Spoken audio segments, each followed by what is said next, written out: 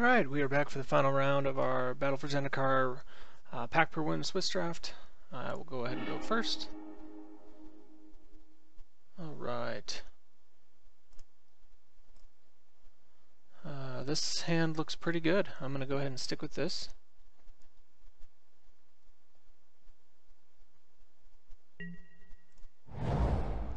see if we're up against another aggressive deck because this hand has the potential to hit pretty hard. Another green deck. The problem with green is you gotta win early. If you don't win early, you're in trouble. And another green-white deck.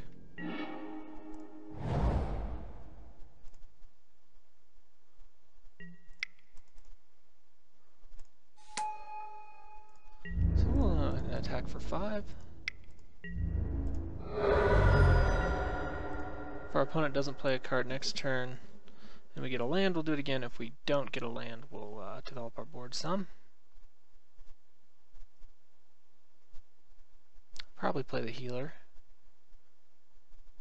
I think the Invoker is definitely a better card late game, so probably want to hang on to it if we can.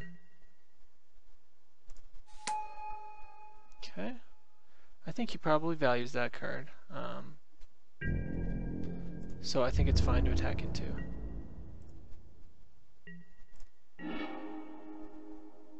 Alright, so unfortunately we did not draw land, so um, I think at this point we don't want to be sinking mana into the... This may be wrong, but um, I don't think I want to be sinking mana into the landfall trigger at this point, and I wouldn't mind getting rid of his his uh, make anything guy. Uh, he doesn't want to take that, so I was planning to play the Kalastria Healer. I think I still do want to do that, just because I wouldn't mind using Bone Splinters on it. And that leaves us a little bit more versatility uh, further on down the line. Uh, plus we have no other creatures in our hand that would make use of the uh, the you know the additional ability where we can ping multiple times per turn.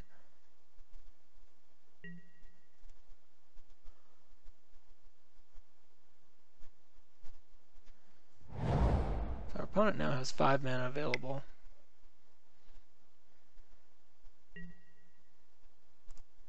Plays a stalwart.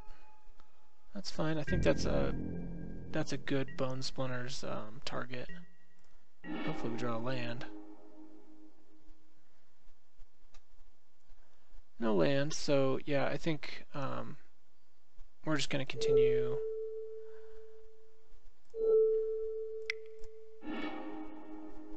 Hey, look, I did it right that time.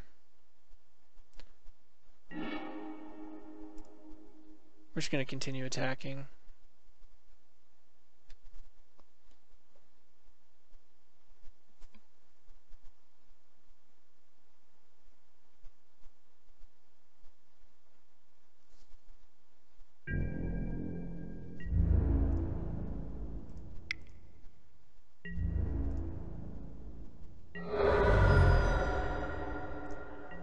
Think we saved the Sure Strike um, to try and finish him off.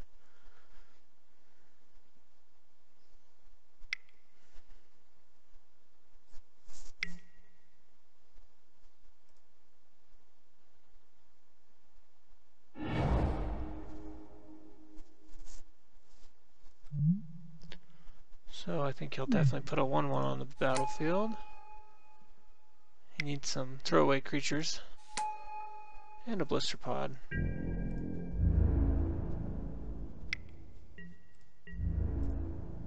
That's a creature he's definitely not going to be trading, so I think he's totally fine with sending him in.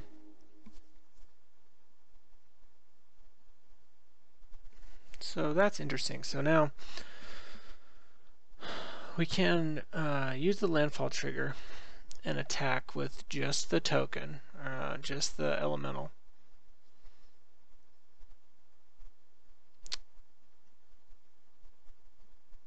Or we could, uh, we need one more mana to attack with both. Uh, I assume he'll block with the Blisterpod. But I feel like we have to keep removing these creatures. Actually, actually, you know what? I think I'm probably going to regret this if I don't draw another land. Or I'm sorry, if I do draw another land. But I'm just going to play the Nettle Drone and pass the turn.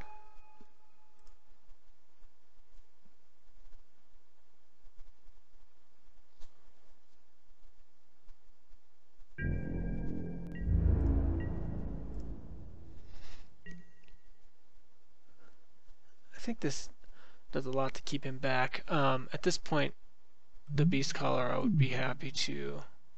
Would I be happy to trade with? I don't know. I actually don't know if I want to trade with it at all.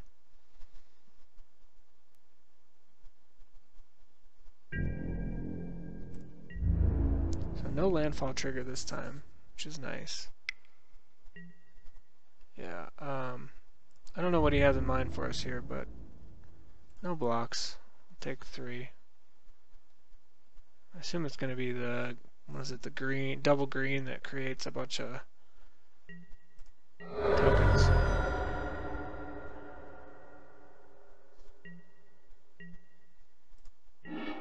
Opponent does nothing.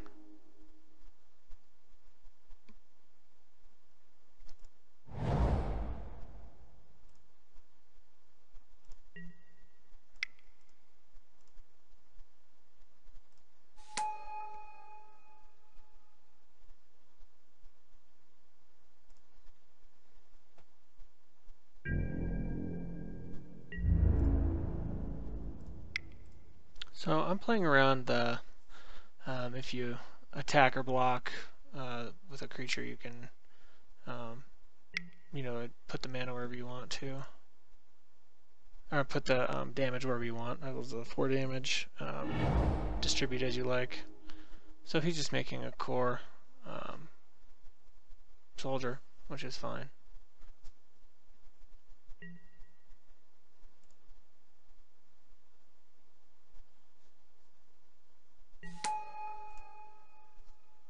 It's either take three or, or get rid of it. So that's that's totally fine for me.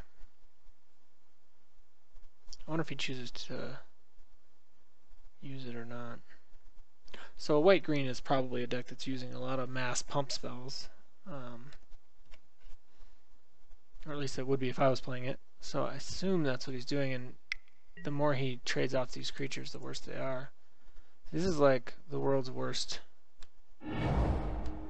use of uh, combat tricks. He's essentially emptied his hand to kill a token.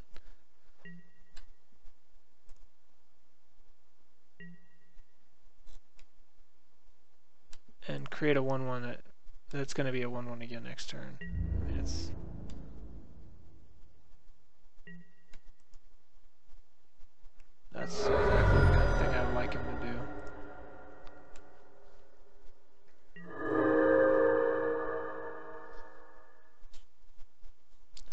continues to get landfall. I mean, he, he's got to slow down and be a little bit more um, passive, I would think. Just because he knows I, I could potentially attack without casting anything else at any point for um, 8. And he's only at 10. Hmm, ton of ramp in his deck.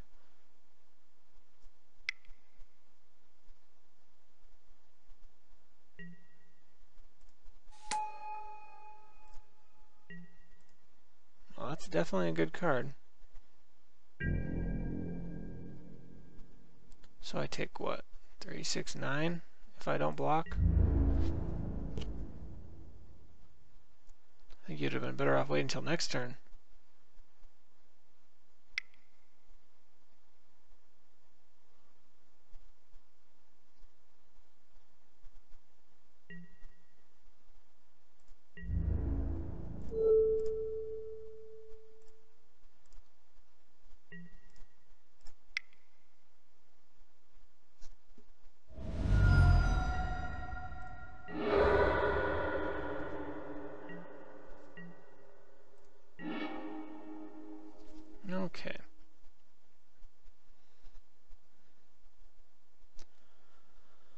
Have my fifth mana. I can play a 4-5, which stops all of his stuff. Um, or a 3-2 with landfall.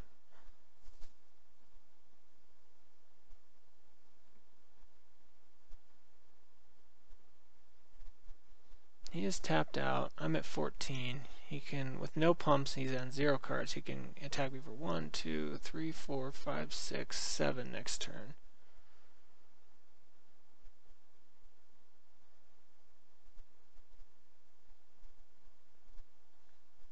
So I could landfall, create a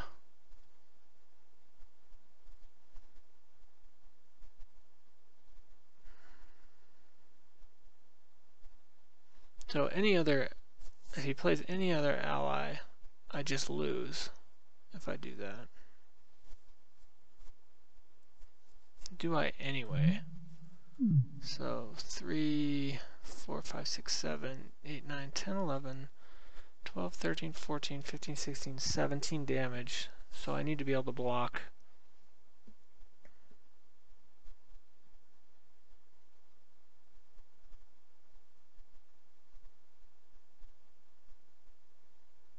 Hmm. Yeah, I think I think I just play the land. I do not use the ability. And I play the Night Watch.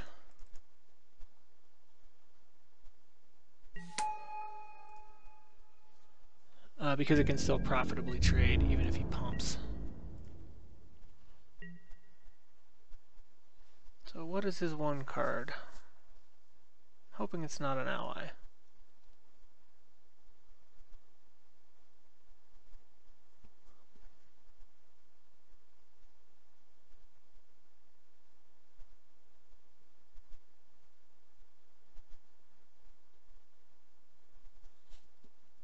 One mana short of actually using the Invoker.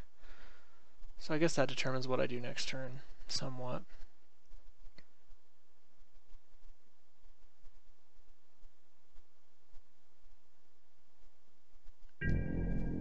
Um, drawing a land gets a lot better for me.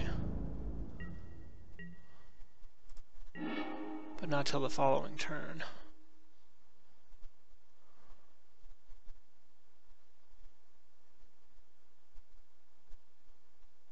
So I definitely want to get him into play. So this puts me on six. Don't want the elemental.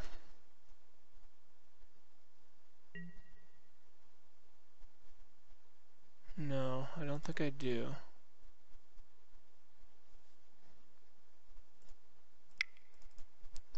I think I just play the Invoker, and keep up the Sure Strike.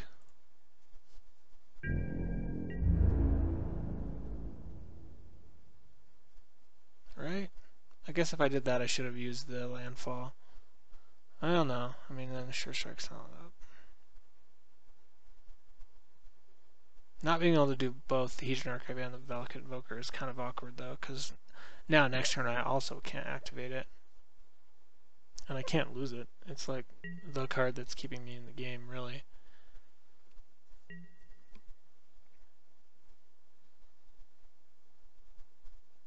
So how long till he draws another ally? that's the question. Uh, but any opportunity to kill this Warcaller actually is pretty good. It is an ally. That's a good one.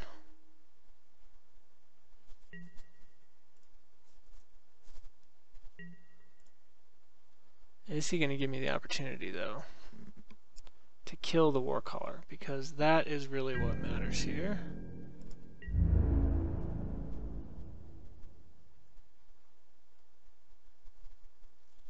He's going to attack for 8. Nope, 12.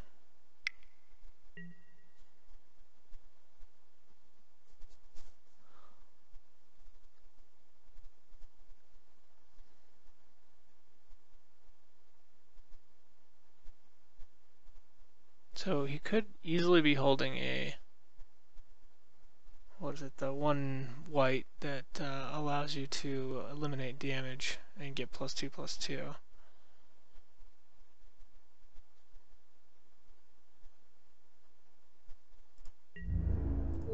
But I have to block. I can't take 12, or I'm just dead next turn.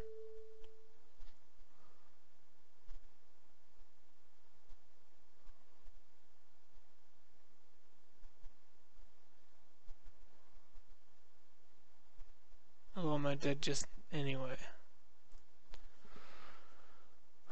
So if he can protect it, I take 8 and keep my creature. That's, that's what we were hoping for.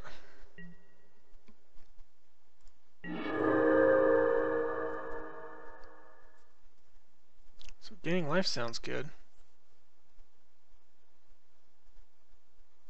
Um, I definitely need to keep the Sure Strike up.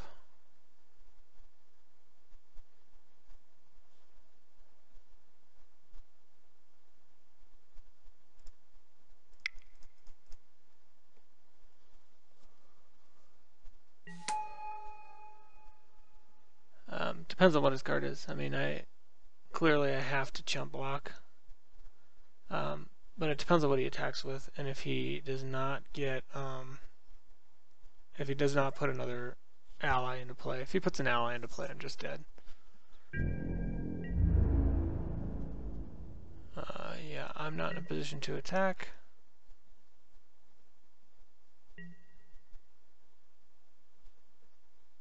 Feel like we got a good start. Maybe I made a mistake by um, using the Stonewalker early. Oh, he has an ally. Ah, that card is good. Yeah, so I'm just dead. I don't have enough blockers, so that is the game. So what do we do against this big green deck?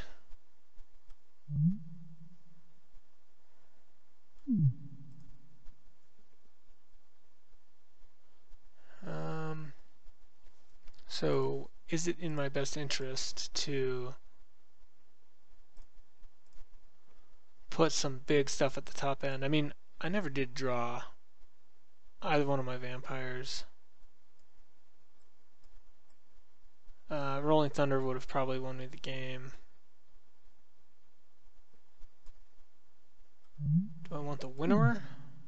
Do I want the Devastator? Do I want to play some Scours? I think if I win, I have to win early. I don't think that I have a chance late game. So I'm going to run it back.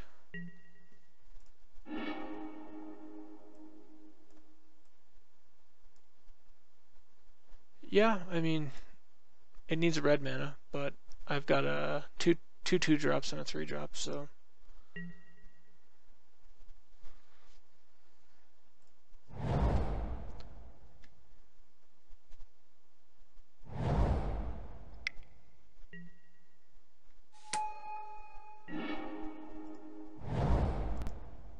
Oops.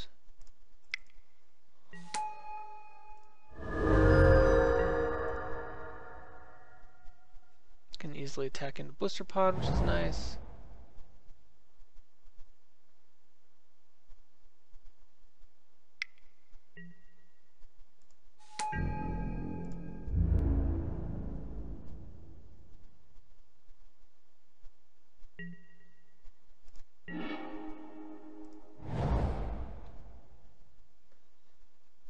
So if I exile the Blisterpod, he doesn't get anything off of it. I don't know if it's worth it. Um, or I just play the familiar. I can still use the complete disregard later. Um, it's an instant. I can attack into it. See if he wants to double block.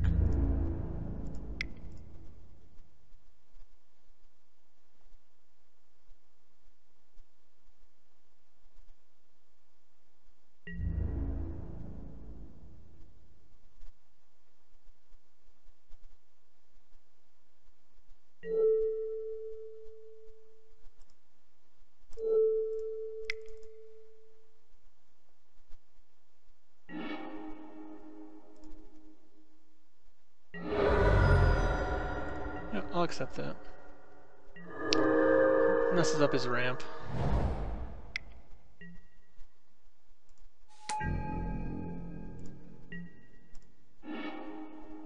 And we got our red.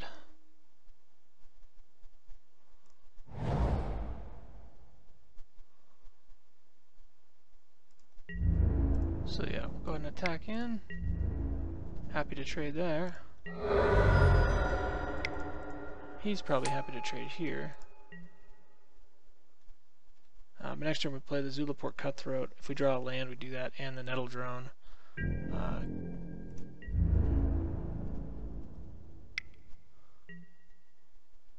so, do I care about a trick?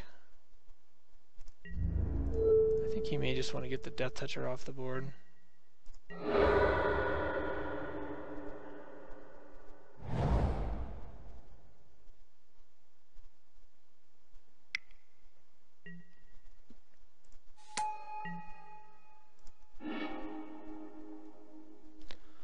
That card could be quite good against this guy. Uh, we did not draw land though, which is a bummer.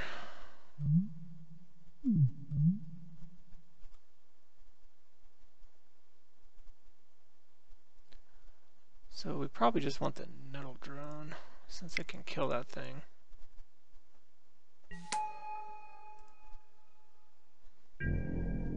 Most of his creatures are hit by the rising miasma, um, but so are mine. so um, it's possible to landfall to keep some of them alive.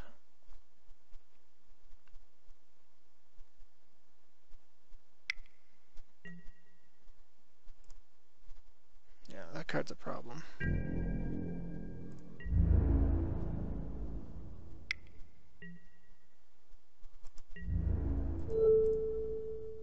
I'm fine with that trade.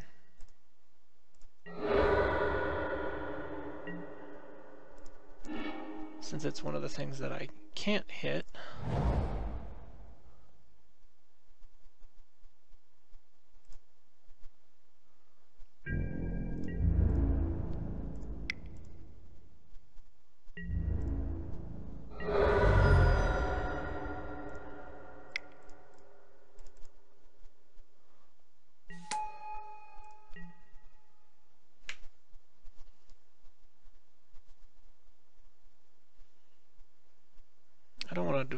Too much my... I mean, if I have to use the Rising Miasma without Awaken, I mean, I will. I just would much rather use Awaken.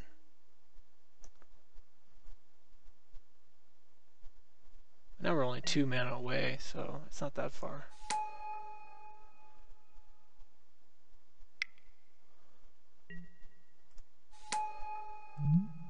What is this? Whenever uh, so it gives you green plant tokens.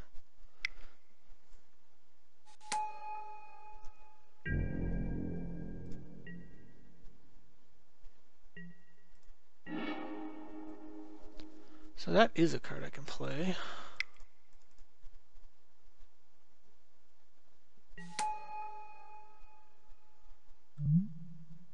we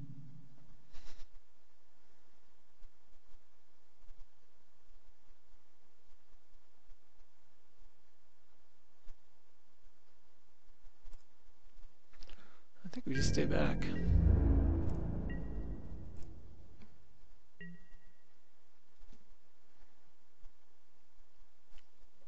We have a game plan, we just can't let them get too far out ahead of us before we use it.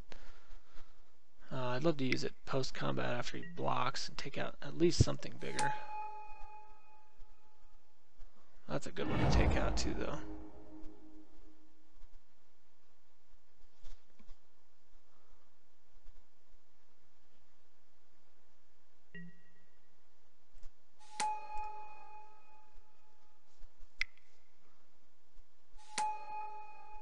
we may be getting close to time to take care of some of this stuff.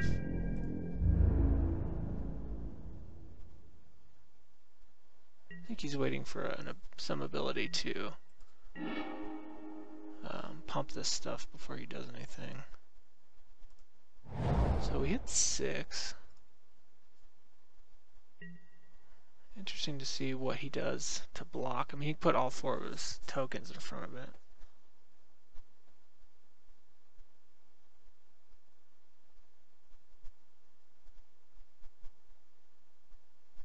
We're one mana away.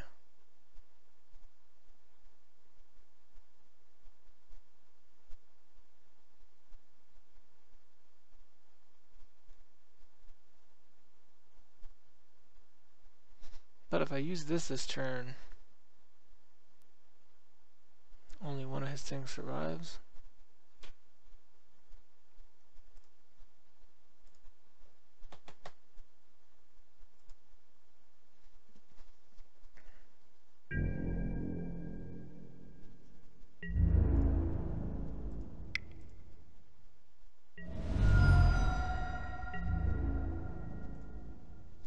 To play another land in order to use the Rising Miasma with Awaken anyway, so it's not a big deal that I uh, didn't use this one. I am going to be taking some damage this turn.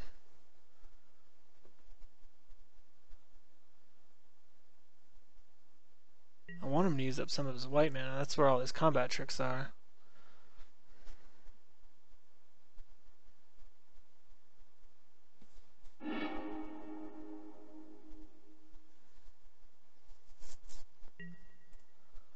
But our opponent's almost out of cards, which is excellent.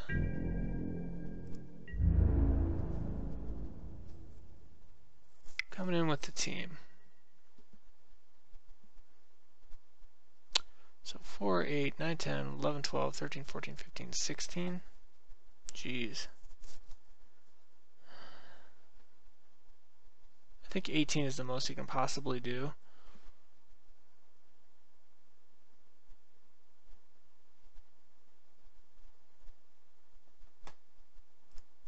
Guess I do want to prevent some of this damage. Um,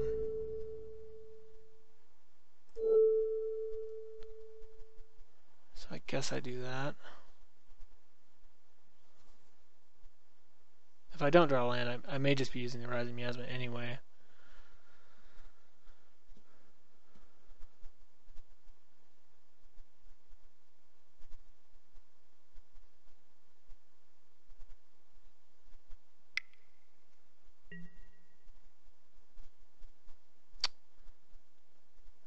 Doesn't give him trample.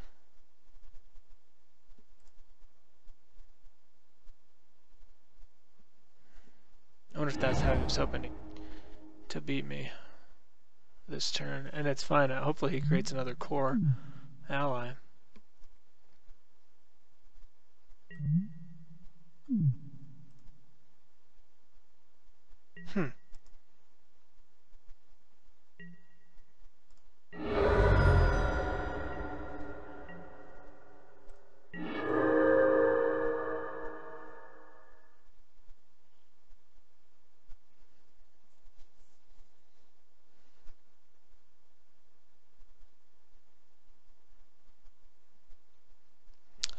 Opponent will have a 3-3 left.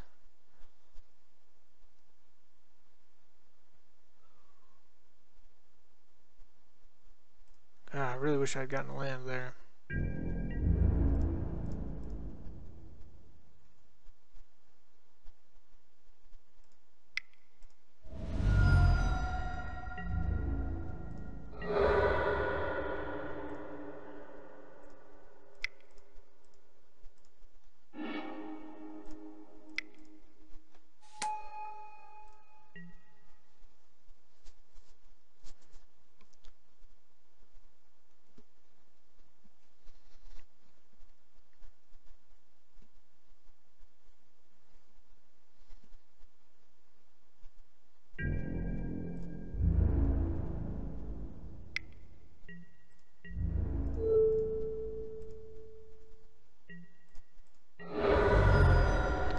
So we gain a life, which is nice.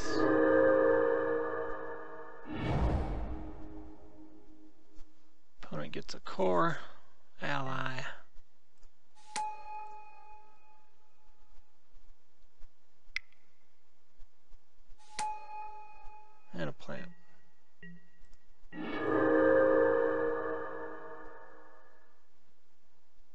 we're one mana short.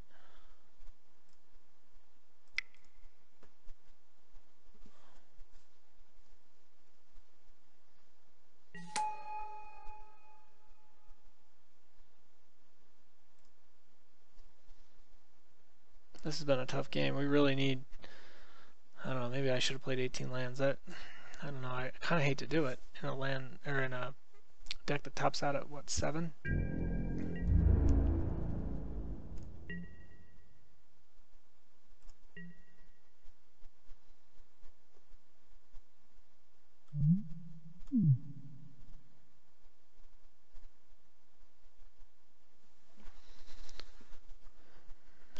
Build his team by two.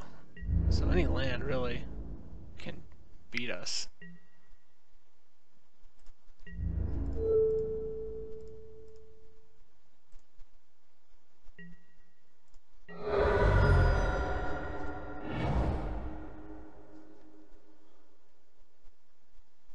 So he essentially just needs to do this, and eventually he'll beat me.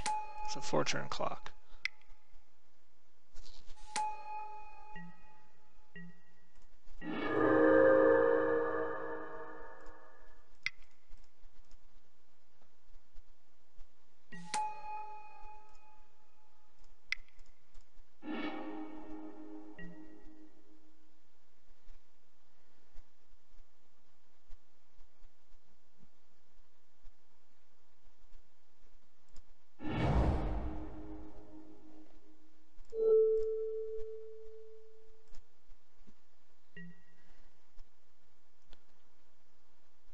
Unfortunately we have to attack.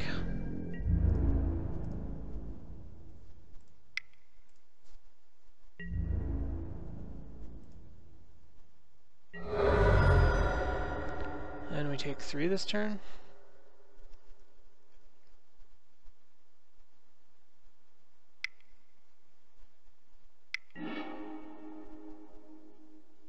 Ugh. We had him. Almost had him anyway. Maybe we didn't quite have him, but we were close.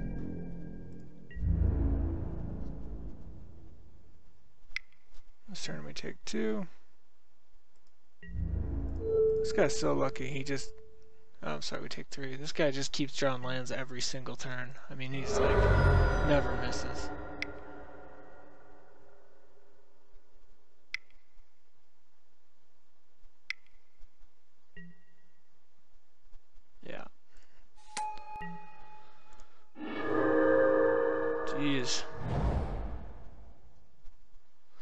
There's nothing we can do here. Uh, we're just dead on board, so concede game. Thanks for watching. This has been Doug with Basement Level Magic.